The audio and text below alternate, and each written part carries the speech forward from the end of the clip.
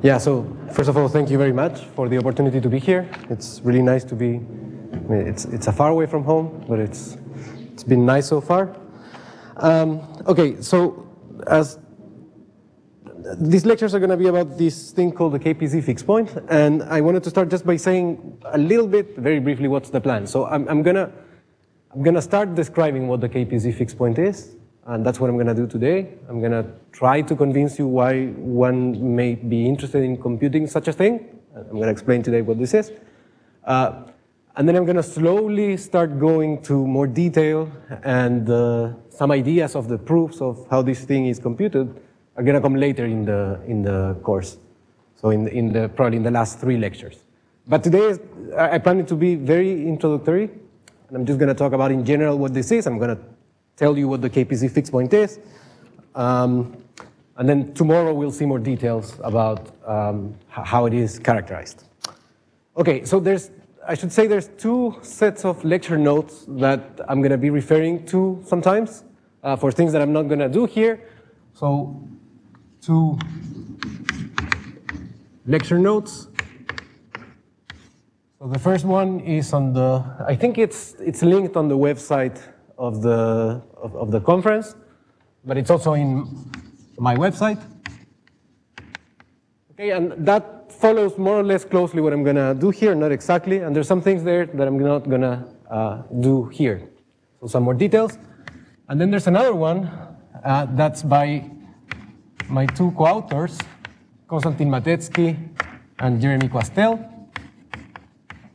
It's called something like from, yeah, I think it's called from TASEP to the KPZ fixed point. And that's on the arXiv. I, I, I didn't write down the, the exact identifier, but you can find it on the arXiv.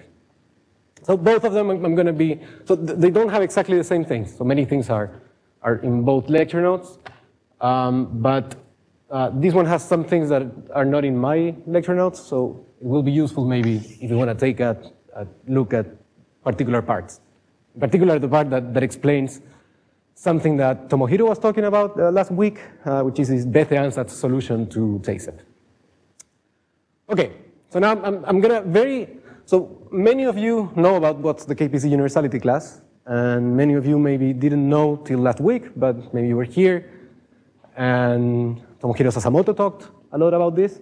So I'm gonna very briefly introduce one model uh, that it's one of the sort of basic models in KPZ, which is not the one we're gonna use, I'm gonna, but just to introduce the ideas, let me tell you what's the Eden model. So this is a, this is a growth model in, okay, let me not say in two dimensions. It's, it's really happening in two dimensions, but we're interested in a one-dimensional interface. And it's really very simple. So you think about box, boxes in a lattice. So you're in Z2 here. And let's say we start with one box. And then what we do is that at each time step, we choose one boundary side of the cluster we have, and we add a box, another box. So maybe we add this one, and then maybe we add that one, maybe this one later. And we, we keep putting boxes on the boundary, uh, uniformly on the boundary.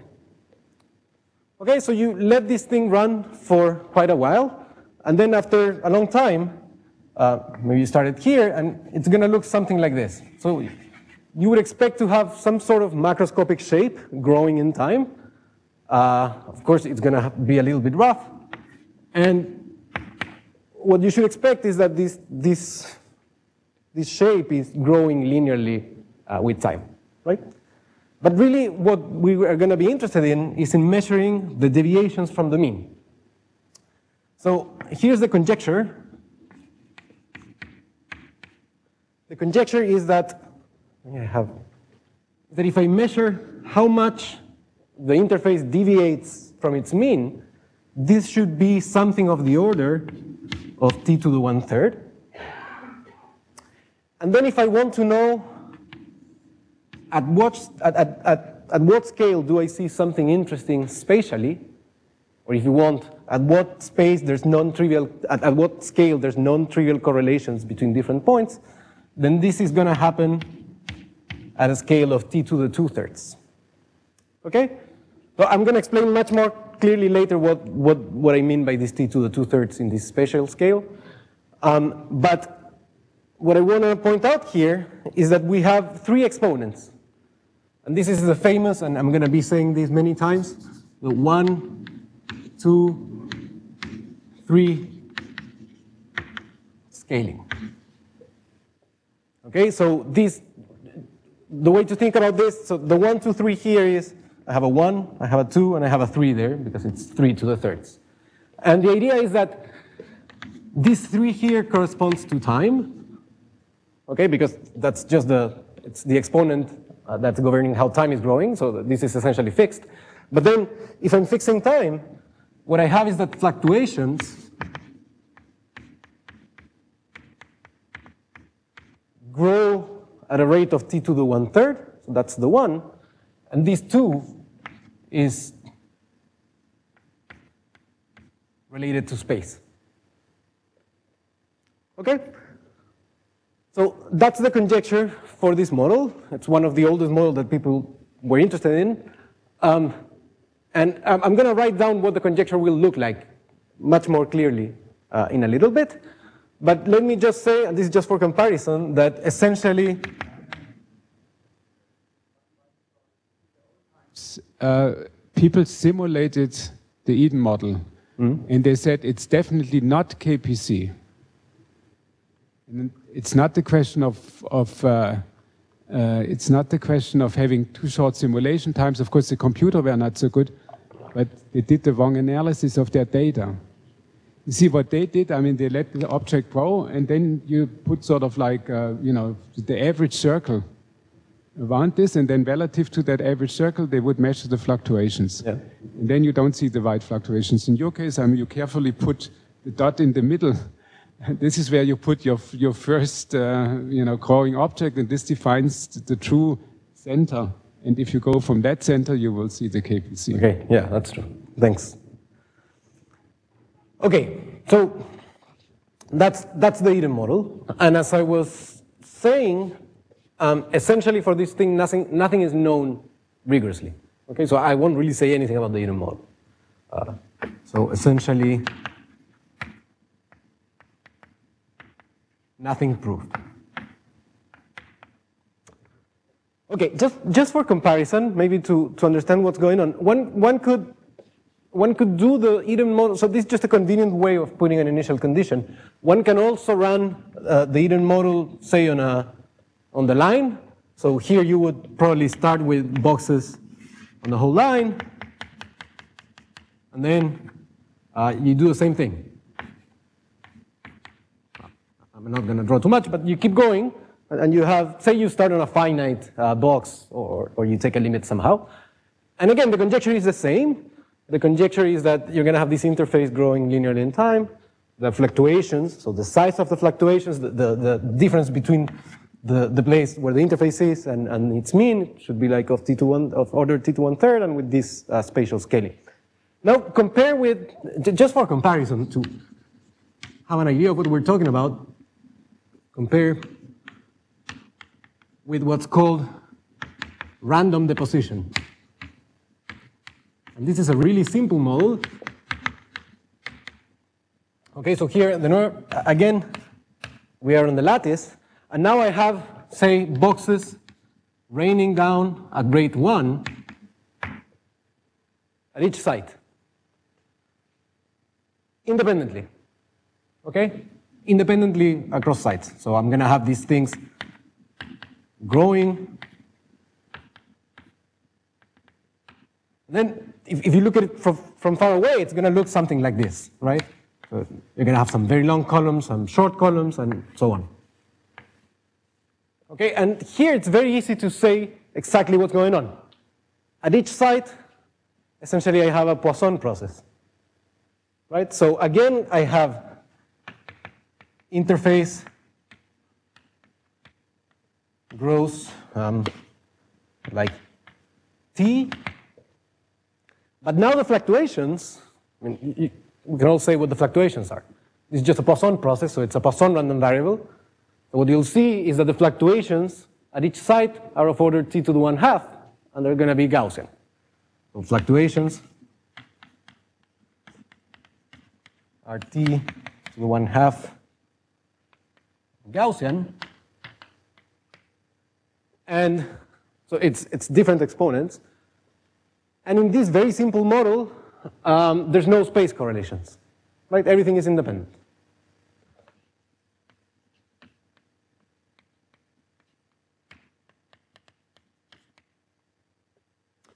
Okay, so again, we're not going to use this, but I just, it's a good way to, I, I think, to try to keep in mind what we're doing. So we're trying to understand these fluctuations, but in a, in a growth model, which is a lot more rigid.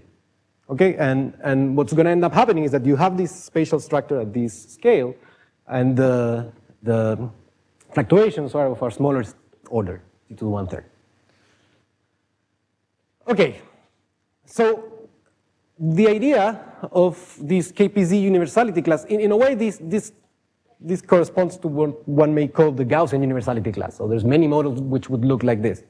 Um, but this is a model that belongs to the so-called KPZ universality class, and the idea is that there's going to be a huge number of models which should satisfy the same things as this one. So, number one, you should have these scalings, and number two, the distribution of the fluctuations should be the same, and I'm going to get into that uh, in a moment. So, as I was saying, we know nothing about the Eden model, except that we would like to prove um, the same things as I'm going to show you uh, in another model, which is TASEP. So what we're going to do is work with something called the totally asymmetric simple exclusion process.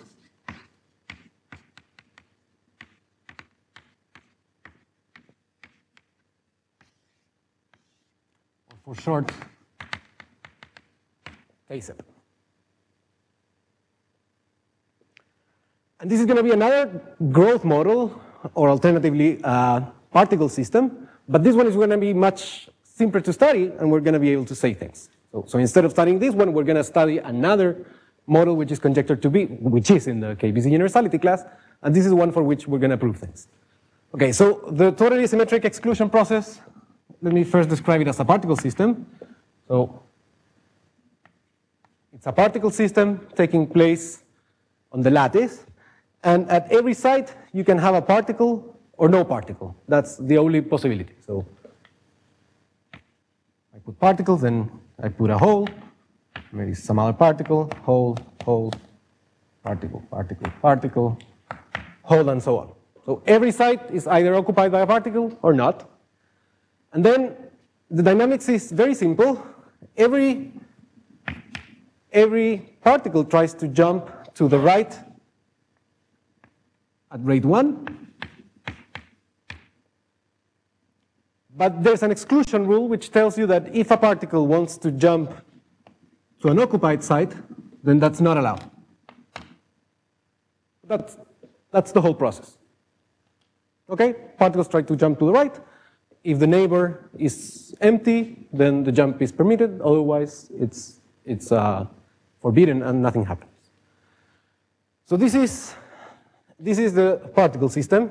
Here I was talking about growth models. So it turns out that there's a growth model associated to this particle system, and it's, it's very simple to, to describe. Um, so what you do is you write, I'm going to write something which looks like an interface, something like this. And it's something I'm going to call the height function of TASEP. And the way to do it is that above every occupied site, I'm going to this was also mentioned uh, last week. Um, so above every site, I'm going to put a piece of a segment, a segment of a line of slope 1, and above every hole, I put a piece of a segment, a segment of a line uh, of slope minus 1. Okay, so then I keep going. So this one goes up and down, up, down, down, up, up, up, down, and up. keeps going. Okay? So you, you can, I mean, it's, it's easy to see that modulo uh, a height shift, so I, I could have started this at any point, right? I just started here for the drawing. But modulo that height shift, there's a, there's a bijection between these sort of configurations and those, right? You just can read off one from the other. It's very simple. And, and the way one usually does this is that you fix the height at, at some position in the origin side, you fix it to be zero, and then you have a unique way of, of, uh, of connecting one to the other. Now, what, what's, the, what's the dynamics of the height function when, how does the particle dynamics translate into the dynamics of the height function? Well, again, it's very simple. You can check that when this particle jumps to the right, then this segment is now going to go, oh, I'll use another color, is now going to go down, and this one is going to go up. So really, you can just, if you want, you can completely forget about the particles, and you can think of the height function as being a Markov process where every local, every local max turns into a, sorry, every local min turns into a local max. Maybe it's easier to draw it this way. Every time you have something like this, it's going to turn into something like that at rate 1 uh, independently.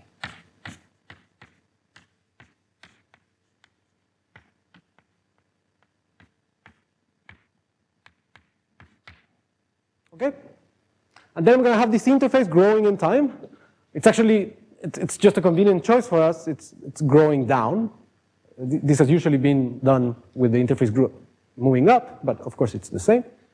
I'm going to have this interface evolving down. And uh, I'm going to call this h t comma x. So h of t comma x is the position of the height function at time t and position x. So these have been subject of, of intense study, uh, both in the statistical physics community and in the probability communities. And there's lots of work that has been done in, in many directions. I'm, I'm going to tell you about the earlier work uh, that's relevant for us. So at this point, what, what I'm interested in is this sort of conjecture. Okay, so I'm going to tell you what, what was known since essentially last decade. Um, so let me put it like this. So TASEP with some special initial conditions, which are going to play an important role, was solved, let's say, in the last decade. So the first one, the first special initial condition is what's called the step initial condition, or could be called maybe the narrow wedge initial condition. And it's, it's the following initial condition. So at the level of particles, what I do is, if the origin is here, I put this packed initial condition to the left. So I put all sites are occupied by particles to the left of the origin, and no, no particles to the right. Okay? So this is, if, if you look at, I mean, it's called step initial condition because of this uh, structure. Now, if you look at what the, what the height function looks like, it's very simple. It just looks like this.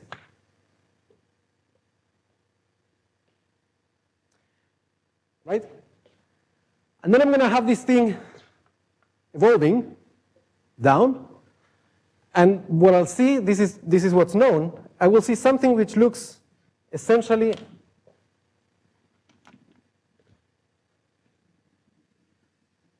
it looks like a parabola. And on top of this parabola, there's some fluctuations.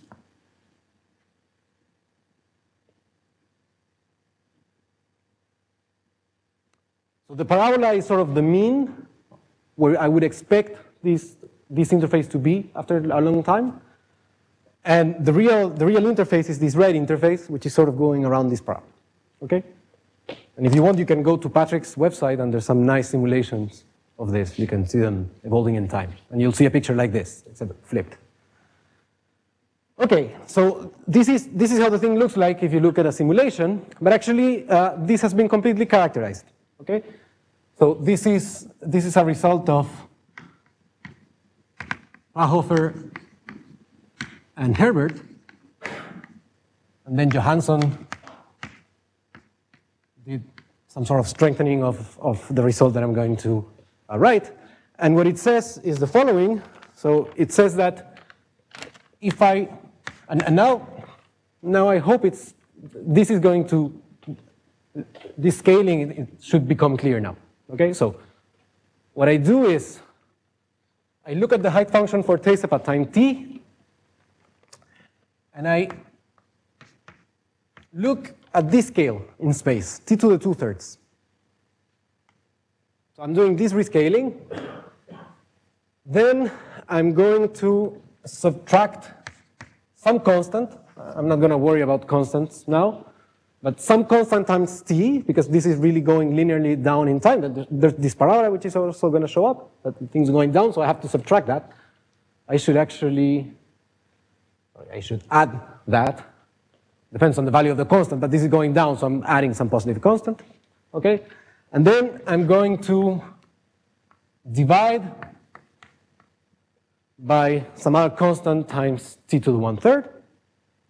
So again, here's the one, sorry, the one, two, three scaling. One for the size of the fluctuations, so I have to divide by t to the two-thirds to see something. Two for the spatial, spatial scale at which I have to look. And the three is just coming from, from the time, okay?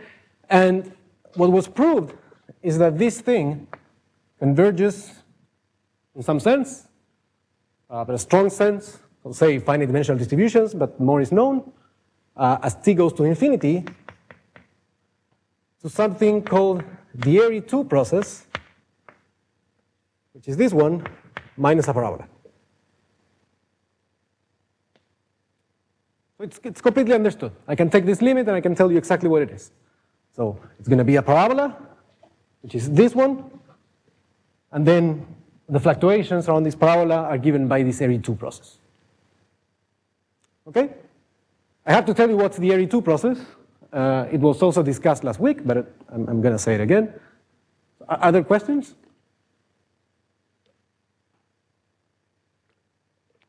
Okay. So I will say a little bit more about the Airy 2 process in a moment. For now, let me just say that so the Airy 2 this is the Airy 2 process.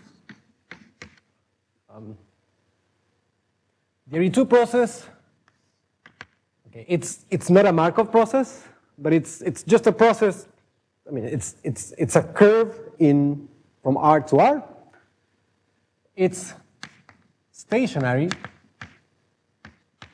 Okay, so the marginals are all the same, meaning that once you take, a, take once you subtract this parabola, what you see is something that looks the same everywhere.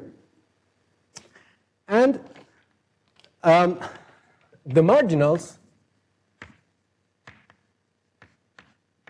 are Tracy-Widom GOE random variables. So what that means is that if I look at the deviation, at, at this deviation here, I fix one point, and I look at that fluctuation, then the fluctuation is of order t to the one-third, but the distribution coincides with the asymptotic fluctuations of the largest eigenvalue of a GUE matrix. Okay? I think most of you know what this is because I mean, this has been, you probably know it or, or this has been discussed in, in previous weeks. Okay? Maybe I'll say it very, very briefly. So you take, you take a square matrix of size n, and you put complex Gaussians in the, as the entries, but you condition it to be Hermitian. So you just put complex Gaussians on the, above the diagonal, and then you uh, take the, the Hermitian adjoint. And you look at that matrix, you look at the eigenvalues of that matrix, and you look at the largest eigenvalue of that matrix. And if you scale correctly, uh, the fluctuations of that eigenvalue converge to a random variable, which is uh, called the Tracy-Widom 2 distribution or the Tracy-Widom GUE distribution. Okay, that's, that's the first of my special initial conditions.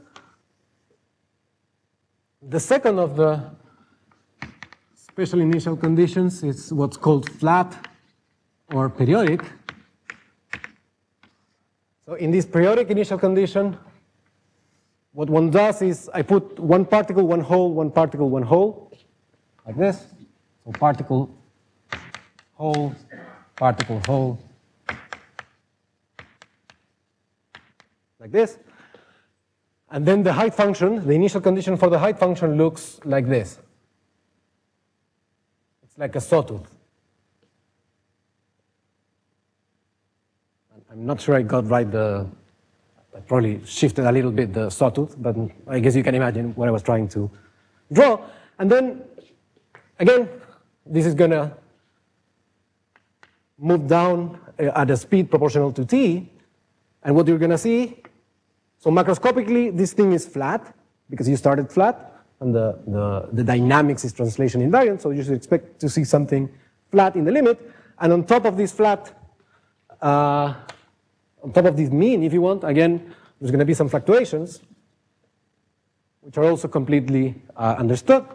So um, this is work, well, there's two papers, but it's by Alexei Borodin, Prähofer again, Patrick,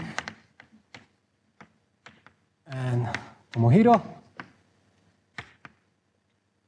And what it tells you is something very similar. It tells you that if I scale this, um, I actually, yeah, I think I'm, I'm, I'm missing a constant here.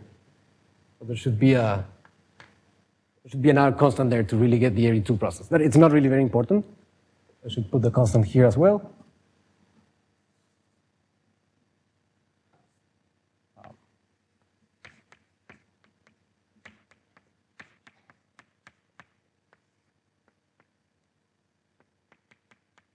Now this thing goes to something called the Airy 1 process.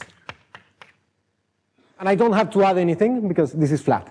Okay, so I have already subtracted the linear growth, and what I'm left with is this Airy 1 process. So this area, the Airy 1 process,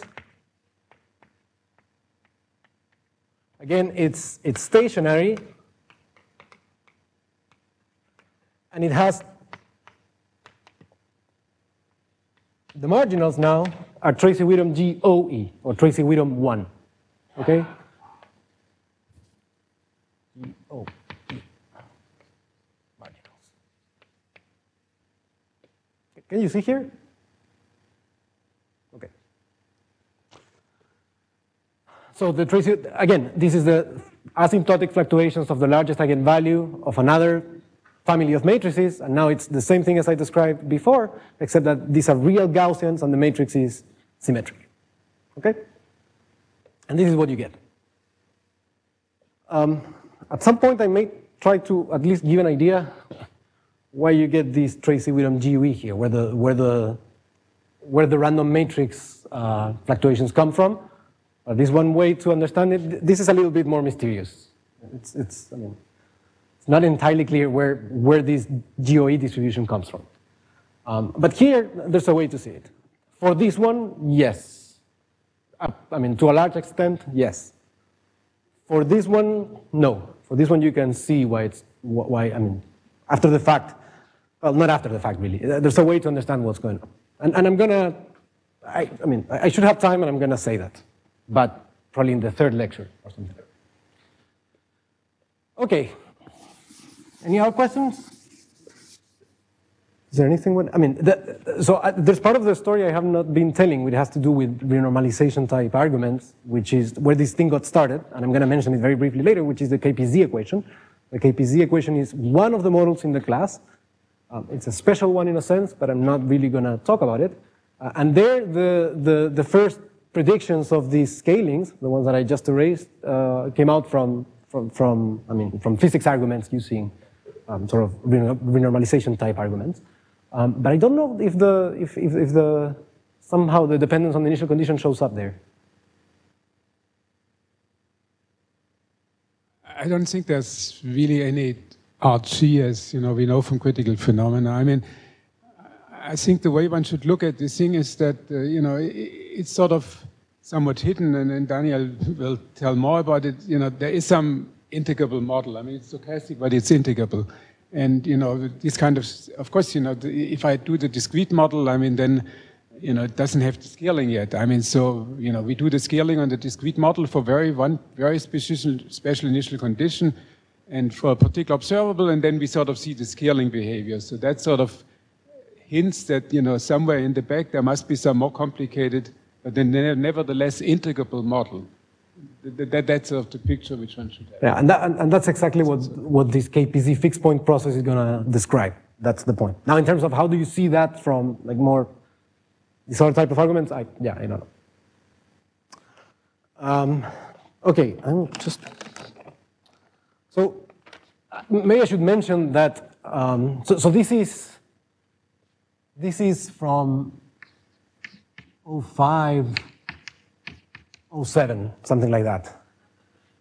And there's a, there's a similar, a similar type of result, which I'm not going to uh, write down. So there's a similar result for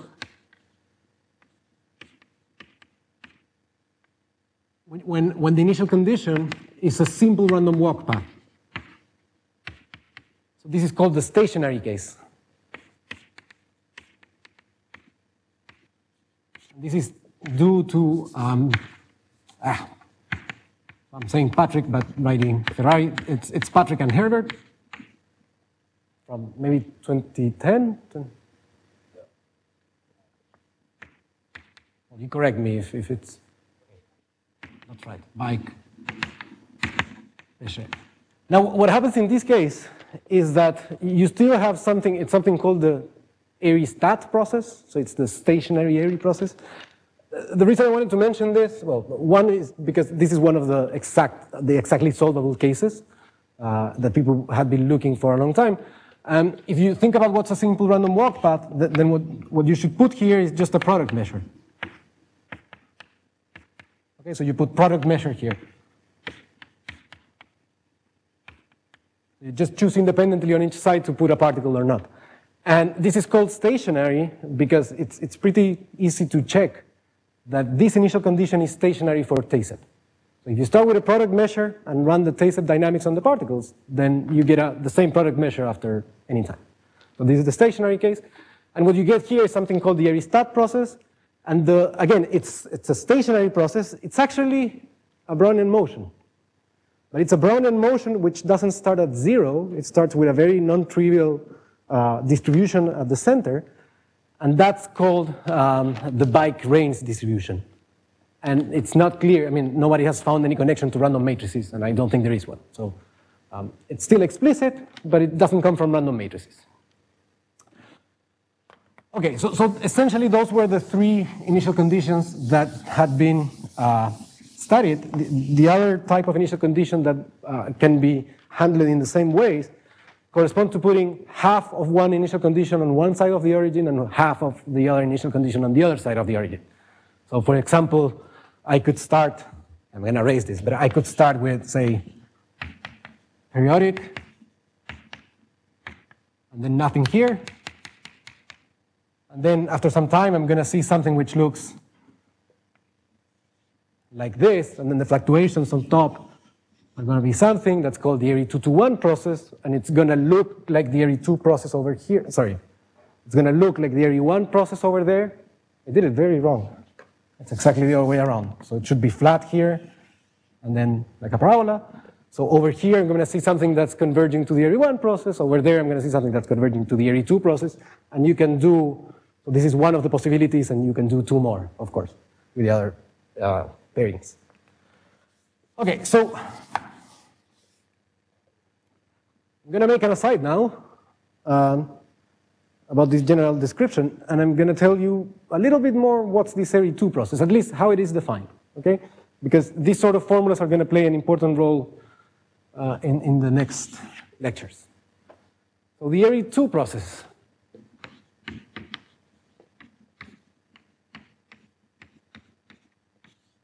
So as I said, it's a stationary process, and the the, the finite dimensional distributions are given by Fredholm determinants.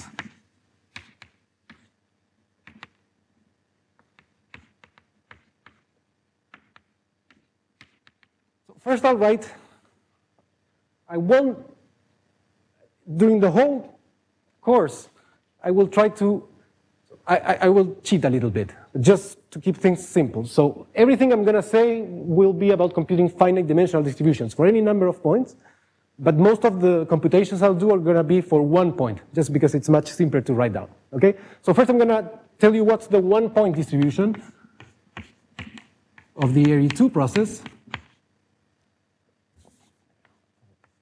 A. So the probability that Airy 2 is less than A, well, I, I already told you that this is a Tracy-Widom GUE distribution. So if you know how to write that down, um, you would be able to. This is the Fredholm determinant. I'm going to say in a moment what that is, of I minus something called the Airy, the Airy kernel. And so the Fredholm determinant is an extension of the finite, the normal determinant to infinite dimensions, in particular to Hilbert spaces. So I have to say where this is being computed.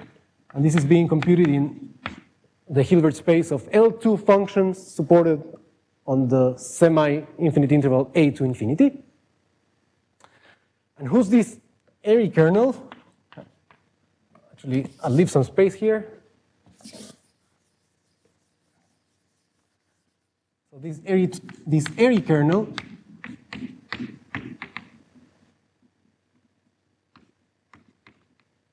is the same Airy kernel from random matrices. It's the, the one that's the correlation kernel of the point process given by these, uh, by the asymptotic eigenvalues. Um, but it's, it's written as follows. Um, at xy, this is the integral from 0 to infinity of Airy x plus lambda, Airy y plus lambda. Okay, and, and this Airy, if you haven't seen it before, this is something called the Airy function. Okay, so the Airy function is one particular special function. I'm going to give a definition later on. Um, but it's, it's just a fixed function. So how you should think about this is as follows. You, you can, okay, this is, there's a theory about Fredholm determinants, and this is the Fredholm determinant of a certain operator in L2. It's exactly the right uh, generalization of the finite determinant. So it satisfies everything that you may want it to satisfy. So for instance, if this is a finite rank operator, then it's essentially a finite dimensional determinant, and you get the same answer, as you should. The other thing that it satisfies, at least when k is, I mean, you have to have some conditions on this so that this is finite, but when k is good, um, this determinant is actually the product of 1 minus the eigenvalues of k. So k has to be compact, more than compact really, but it's, it's going to have a discrete spectrum.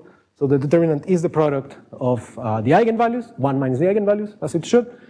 But we actually don't really need much uh, of that.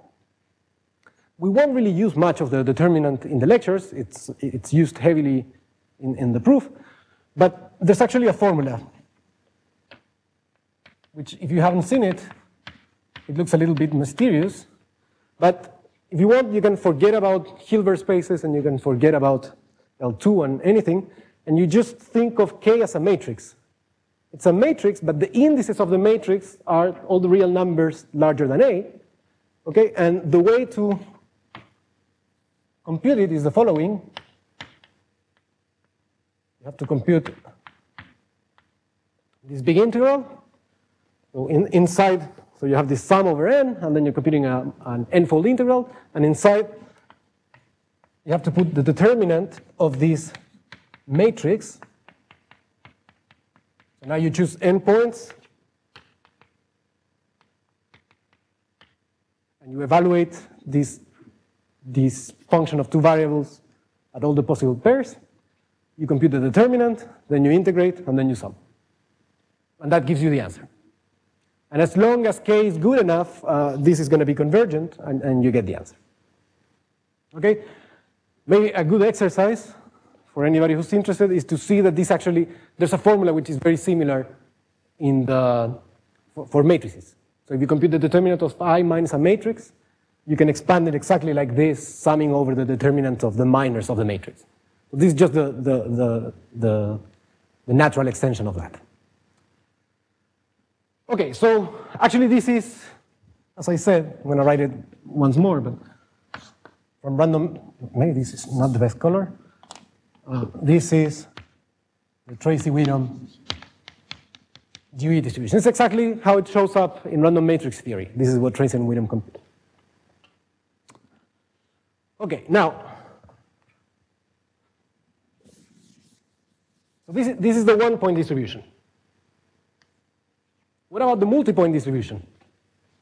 Because remember, I'm interested in this, this sort of thing, where I am looking at this process as a function of t. So for now, t has been fixed, but as a function of x. So I want to see how this interface evolves, but the whole interface, not at just one point. So as I said, uh, the finite dimensional distributions are again given by a Fredholm determinant. So the finite dimensional distributions are given in terms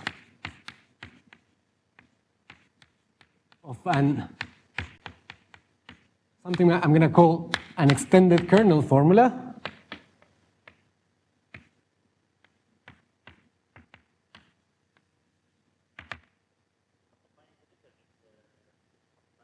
Yeah, I'm going to write what finite dimensional means, but, but it, it just means I want to ask what's the probability that Airy 2 at point x1 is less than a1, and Airy 2 at some other point xn is less than Sn, an. Okay, so that's the finite dimensional distributions of the process. If I give you the finite dimensional distributions of the process, and they are consistent, they are of course, uh, then I have characterized the distribution of the process. And this is written as follows. So again, I am not going to get into too many details because I don't want to deal with extended kernels. So let me write it like this. This is going to be the Fredholm determinant of the extended Airy kernel. I have to tell you what's the what's the L2 space, what's the Hilbert space where I'm computing this. So this is going to be an extended Hilbert space. And in this notation, I can write it as follows. So, so instead of computing the determinant on L2, I'm computing the determinant on a direct sum of many copies of L2, like this. So it's L2 of A1 infinity up to L2 of AN infinity. So you should, what you should think the way to think about this is that K, the extended kernel, is just a matrix where each entry is an operator. So it's an opera operator valued matrix. Okay? So now instead of having just a single function, you have a matrix of functions, and then you put those in, and you're going to have a big, a bigger determinant. You compute the determinant of that, and you keep going. Okay? And I'm going to tell you what, what this what this extended Airy kernel is. So if I want to know, so as I said, this is now a matrix of operators. So if I want to tell you its value, I have to tell you what's the ij entry. So the ij entry is one of these kernels. So now I evaluate at x comma y. Okay? And again, this is not going to play a very important role for us, but there's something I need to explain. Okay, and this is the formula. So the ijth entry looks as follows. So it has two pieces. First, it's e to the minus xj minus xi Laplacian, so sorry, not minus, plus. So this is just the heat kernel, the usual heat kernel evaluated at x comma y. So this is just the transition probabilities of Brownian motion. But this term only comes in when xi is less than xj. Otherwise, this backwards heat kernel, I mean, if, if, if, this is negative, then it means that I should be inverting the heat kernel, and that really makes no sense. Okay? Um, so, due to this, this is okay. And then plus something else, and here, oops, okay, I, I made a little mistake. Let me, but I can fix it very easily. Because of the way I'm writing things, I should not be writing a 1 here, I should be putting in the parabola. Okay? So I'm, instead of writing the finite dimensional distributions instead of A1, I just add the parabola, but it's the same thing. Okay? And now this is correct. So now I do the following thing. I put e to the minus xi Laplacian, k airy, e to the xj Laplacian, x comma y. Now here it really should look like I'm cheating because I just told you that I had to put xi minus less than xj so that this is positive so that the heat kernel makes sense. And here I don't even know the sign of this. Uh, but it's, I mean, half of the time it's going to be positive and half of the time it's really going to be negative because at some point I'm going to have e to the minus xi and then in some other entry I'm going to have e to the plus xi. But this is okay. And I'm going to tell you tomorrow why this is okay. Okay? So for now I'm going to leave it there. It's okay. The only thing that I want to convince you is that if I know, in, in, in, at least for the Airy 2 process, if I know the one point kernel, then the extended kernel can be computed out of that.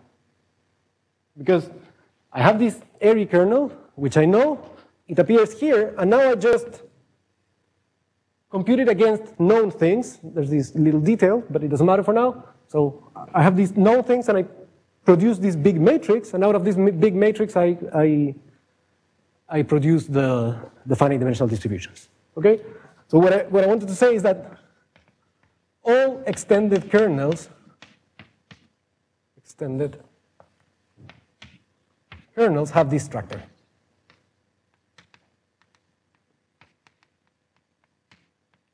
So later when I, when I describe other, other processes, uh, I won't really talk about the extended version because you can always build it in a way which is analogous to this. Okay? It doesn't mean that that's all you have to compute. Really, I mean, I'm going to talk about that later, but at least it's going to make the presentation a bit clearer if I stick to the one-point distributions. That's, that's the idea. Okay, so that's, that's the Airy 2 process. The Airy 1 process is similar with k Airy of xy replaced by another kernel, and the kernel is, in a way, it's simpler, Airy of x plus y. You do the same thing, but you put this kernel, or maybe a scaled version of this, I think one has to scale these, has to put some twos outside and some twos inside, but it's essentially this. And you do all this thing, and what pops out is the Airy 1 kernel. Oh, it's the Laplacian.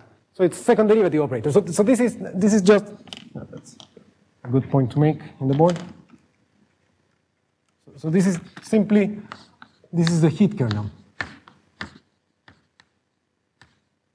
And, and the point is that I mean, this backwards heat kernel is not well defined. The heat kernel is not invertible, but actually it is well defined when acting against this with this operator.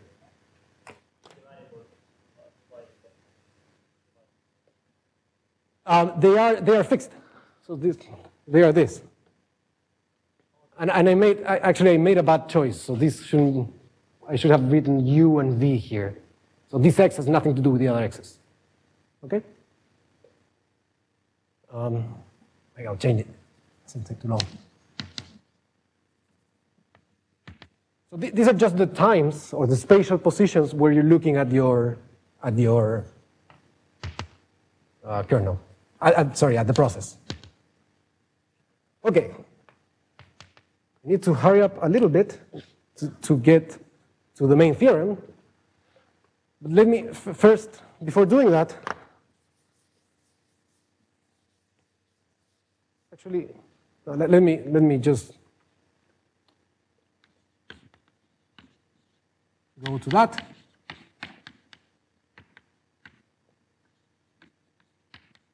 So here's, the, here's what's known as the strong KPZ universality conjecture. And it says the following. It says that for all models in the class, so every model that belongs to the KPZ class, should satisfy the following. So every model should have something which looks like a height function, like the one we constructed for TASEP. And what one should have is the following. Let's say the, the height function ht of x satisfies the following. So if I take h, there's always going to be constants. So I put some constant c1, epsilon to the minus 3 halves t. Then I put some other constant c2, epsilon to the minus 1x. So I'm, I'm rescaling in the way with, with, with this usual, for now I wrote the 2 and 3 part of the 1, 2, 3 scaling. Then I have to add something that's going to depend on epsilon times t. And sorry, here I don't divide, it's easier to. If I do this, and I multiply by epsilon to the 1 half, again, 1, 2, and 3. 1 is the size of the fluctuations, 2 is the spatial scale, and 3 is time. So what this should do is that as, as epsilon goes to 0, this should go to a single process of t and x.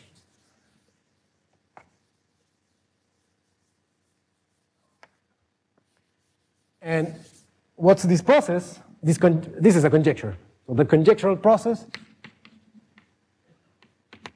it's not conjectural because that's the, that's the, so the, the conjecture is that everything, everything goes to uh, a single thing, but I'm going to tell you what this is. Uh, but the conjectural process is called the KPZ fixed point.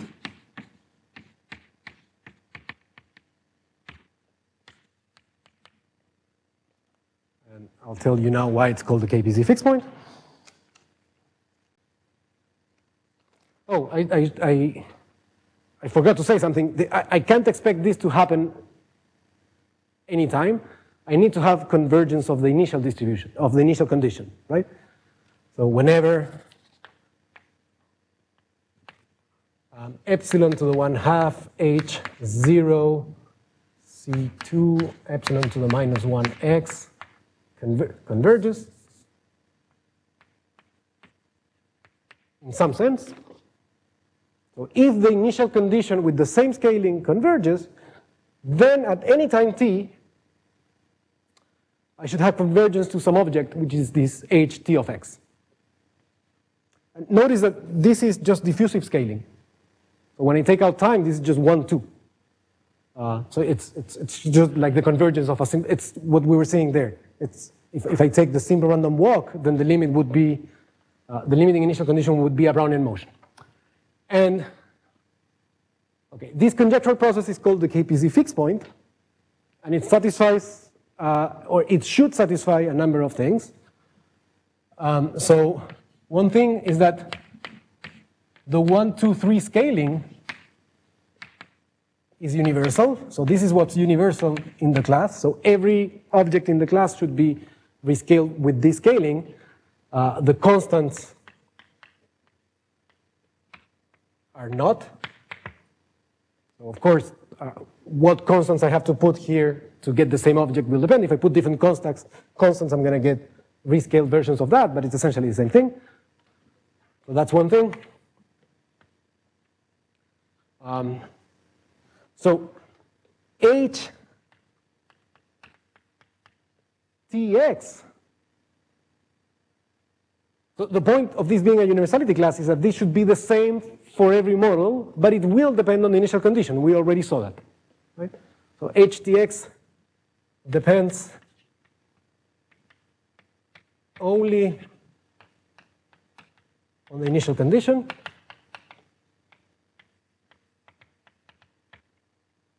And the initial condition is h0 of x, well, is the limit of this thing. So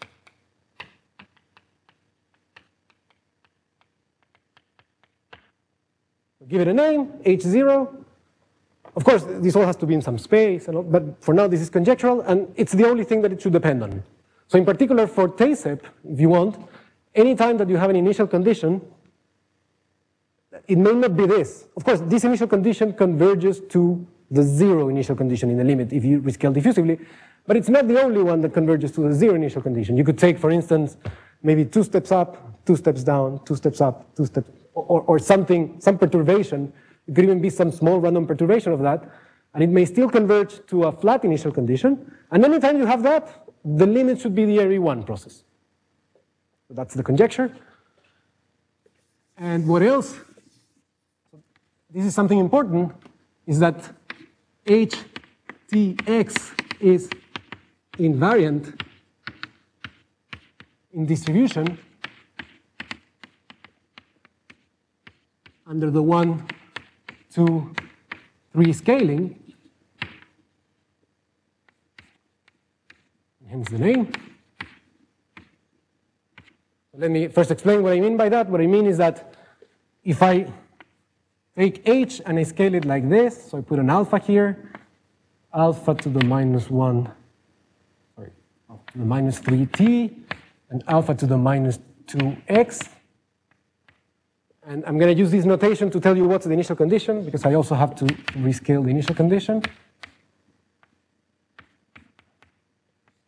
This is, this is the initial condition.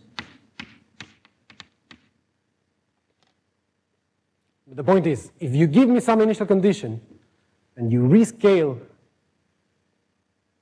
with descaling one, two, three, what this process looks like at a later time, then this is equal in distribution to htx started with h0.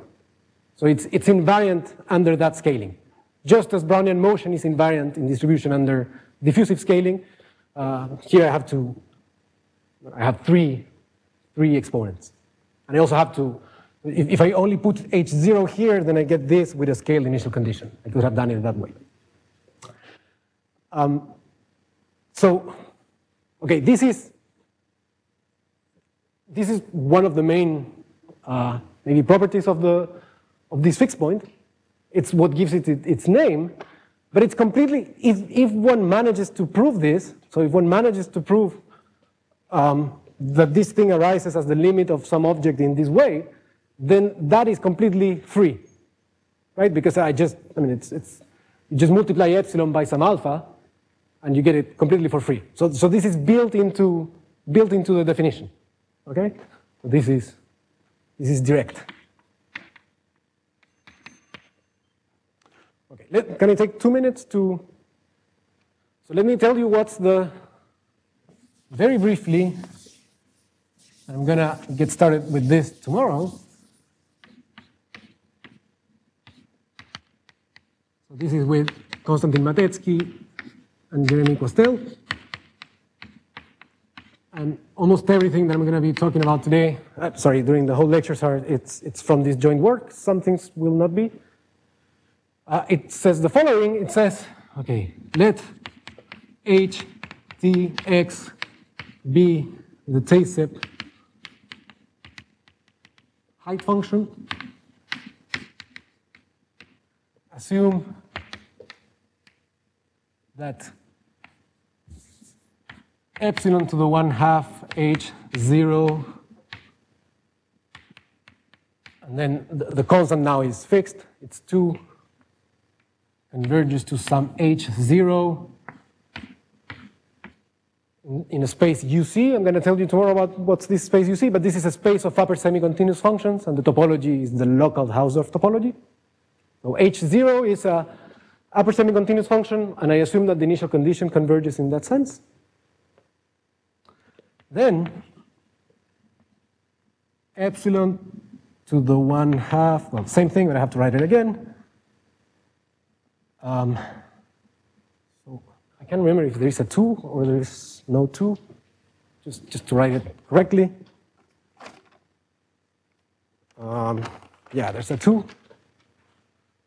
So 2 epsilon to the minus 3 halves t, 2 epsilon to the minus 1 x, plus um, epsilon to the minus 3 halves t.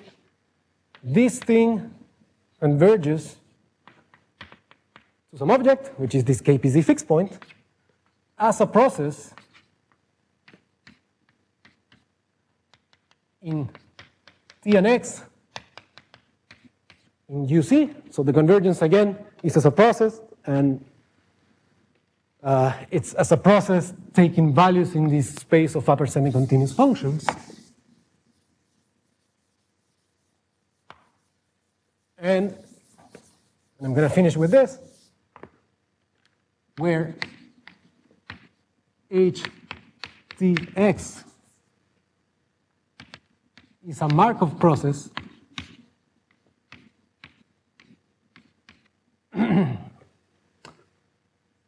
taking values in UC with okay, with sort of explicit transition probabilities.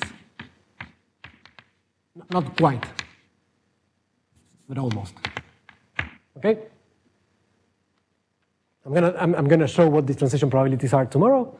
But the thing to take out of this theorem is that in the strong KPZ universality conjecture, there's supposed to be a single process which arises as the limit of everything, but even the process was conjectural. And now what this theorem says is that at least if you start with TASEP, exactly in the right framework, so you should have convergence of the initial conditions, then the one, two, three rescaled height function converges to something, and I can tell you exactly what it is. I can give you the transition probabilities, and moreover, and this is interesting, the process itself is a Markov process. So the, the, the process of, the, it's, it's a Markov process at the level of this interface. So if I know the interface at time t, then that's all I need to know about, uh, to know about the distribution at some, at some later time. Um, okay, so I'm going to stop here, and tomorrow I keep going and I tell you what, what's missing from this theorem.